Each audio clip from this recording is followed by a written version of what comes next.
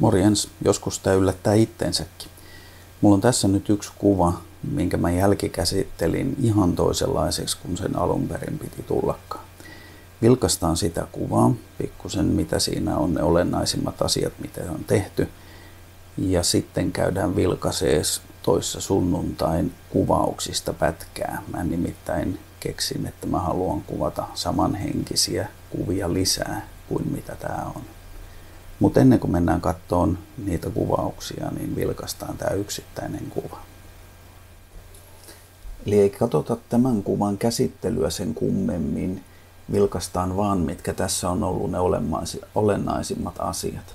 Eli tämä kuvan lähtökohta on jo semmoinen, että kasvot on varjossa ja mä selkeästi halusin sitä voimistaa. Eli halusin piilottaa osan kropasta ja kasvot kokonaan. Yleensähän kasvot jätetään vaaleammaksi alueeksi kuvaan sen takia, että, että saadaan niin kuin kiinnitettyä nimenomaan huomio siihen. Eli mä todella vedin kaikki kontrastit ja sävyt tumman puolelle ja sen jälkeen mä rupesin pikkusen sitten tekemään tähän savua, rupesin tekemään pikkusen kiiltoja ja rupesin voimistamaan saturaatiota. Eli tämmöistä niin kuin hiuksen hienoa pykälä kerrallaan eteenpäin tyylittelyä. Ja nämä, nämä värisävyt oli nimenomaan semmoset, joita mä niin kuin hienosäädin koko ajan. Eli tällainen kuva tuli silleen puolivahingossa tehtyä ruudusta, jota en alun perin ajatellut edes käsitellä.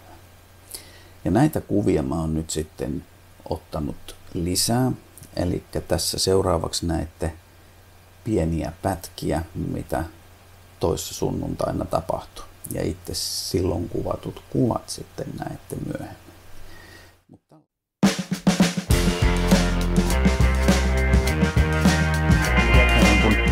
Sä saat olla niissä fiiliksissä.